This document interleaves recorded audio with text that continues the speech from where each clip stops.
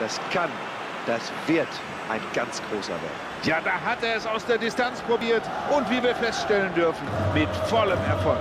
Was für ein Traumtor. Da haben sie ihm schlicht und ergreifend zu viel Platz gelassen. Und dass man das nicht tun sollte bei einem Spieler seines Formats, das hat er hier gezeigt. Ja, sowas wollen wir hier sehen.